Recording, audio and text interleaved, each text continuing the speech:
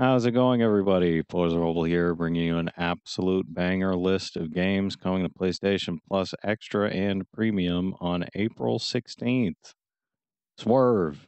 We're actually going to start with two games that aren't releasing on the 16th, but they'll release slightly later as day one releases. First up, we've got Animal Well. This is only on PS5 and will launch on May 9th. No idea on the trophy list yet, but it's a puzzle platformer, so I wouldn't expect it to be super difficult or long to finish. Next up, we've got Tales of Kenzera Zau. This is only on PlayStation 5 and will launch a week later on April 23rd.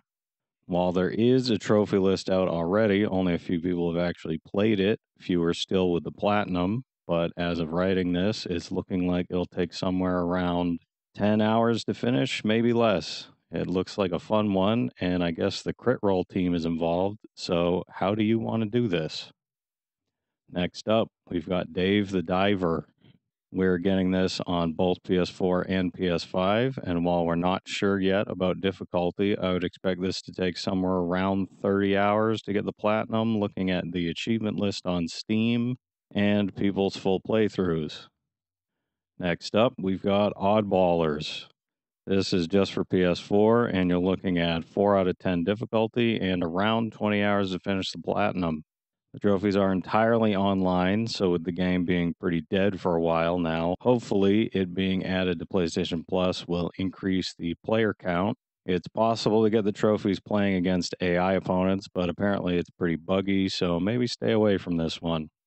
Next up, we've got Construction Simulator. This is for both PS4 and PS5, and you're looking at another 4 out of 10 difficulty and a whopping 150 hours or more to get this one. So, unless you really love construction and are wanting a grind, I'd stay away from this one too. Next up, we've got The Crew 2. This is just for PS4, and you're looking at yet another 4 ish out of 10 difficulty and around 40 hours to finish the platinum. There are some online trophies and there's a definite grind, but if you're into this kind of racing game, it's a pretty doable platinum. Next up, we've got Raji, an ancient epic. This is for both PS4 and PS5. And you're looking at about a 3 out of 10 difficulty and around 5 hours to finish it. But unfortunately, there's no platinum. It's definitely a unique game, but if you're only looking for games with platinums, this is not the one for you. Next up, we've got the Lego Ninjago movie video game. This is just for PS4, and it's only a 2 out of 10 for difficulty, and it should take you somewhere around 20 hours to finish. If you played any of the Lego games before, you know what to expect. The trophy list is basically the same as the rest of them. Next up, we've got Nor, Play with Your Food. Could be Nour, I'm not sure. This is for both PS4 and PS5, and you're looking at a 3 out of 10 for difficulty and around 15 hours to finish. It's a weird one for sure, and there's reports that the PS4 version is buggy, so stick to the PS5 version if you can. Next up, we've got Deliver Us Mars. This is for both PS4 and PS5, and you're looking at only a 2 out of 10 for difficulty and you can finish this in around four hours if you're just going for the trophies, maybe closer to eight or so if you're trying to really enjoy the game. Next up, we've got Lego Marvel's Avengers. This is just for PS4, and you're looking at a 3 out of 10 difficulty and around 40 hours to finish. This is one of the longer Lego games, but just like the Ninjago movie one, if you've played any of the other games, you know what to expect here.